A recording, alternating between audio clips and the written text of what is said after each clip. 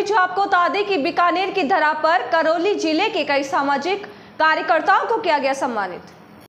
राजस्थान के बीकानेर की धरा पर आयोजित हुए Rashtrahit foundation trust and community welfare society Bikaner द्वारा आयोजित दो दिवसीय कार्यक्रम में करौली के कई सामाजिक कार्यकर्ताओं सहित करणपुर कस्बे के निवासी पत्रकार सतीश को global humanity change maker award 2023 से किया गया सम्मानित। नापित ने चार साल पूर्व अपनी शादी में दहेज के रूप में केवल पाँच पौधे, एक रुपए नारियल लेकर समाज व क्षेत्र में अनोखी पहल शुरू कर पहचान बनाने वाले पिछले करीब पाँच वर्षों से ऐसा गरीबों को आर्थिक सहायता हेतु सोशल मीडिया के व्हाट्सएप ग्रुपों के माध्यम से अब तक करीब चौहत्तर पीड़ितों को आर्थिक सहायता से मदद कराने में अहम भूमिका के साथ ही रक्तदान के क्षेत्र में उत्कृष्ट कार्य करने आदि अनेकों बेहतर सामाजिक कार्यों के अंतर्राष्ट्रीय global humanity change maker award से सम्मानित किया गया।